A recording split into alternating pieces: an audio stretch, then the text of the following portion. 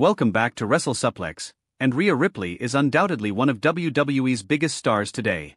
The former women's world champion has captivated fans worldwide with her undeniable charisma, power, and connection to the WWE universe. But lately, things have taken a surprising turn for the Nightmare. Her longtime ally, Damian Priest, recently hinted that he and Rhea are ready to go their separate ways.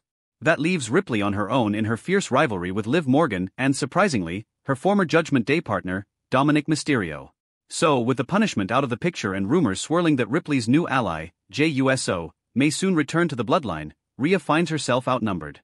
But could a new, unexpected alliance with none other than Rey Mysterio be the key to turning things around?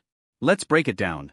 Here are three reasons why Rhea Ripley must team up with the WWE legend Rey Mysterio.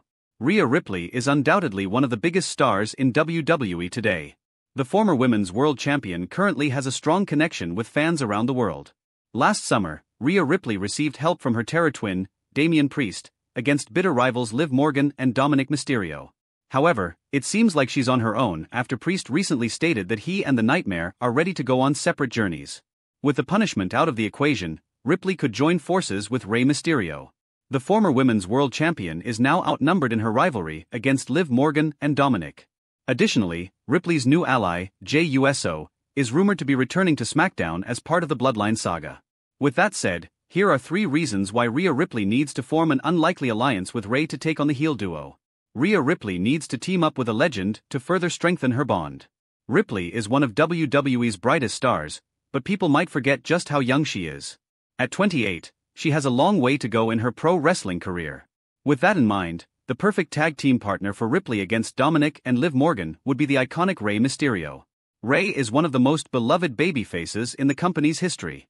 Meanwhile, Ripley turned face earlier this year after a dominant run as a heel. Therefore, pairing the Nightmare with the Hall of Famer could help the former establish herself as one of the most beloved female stars of the modern era. Plus, their alliance would make sense from a story standpoint, considering she and Rey have issues with Dominik.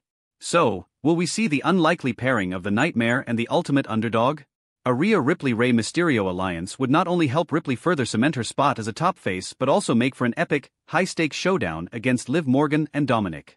What do you think? Would you want to see Rhea and Rey team up? Or do you have other dream allies in mind for the Nightmare? Let us know in the comments, and don't forget to like, share, and subscribe for more WWE content.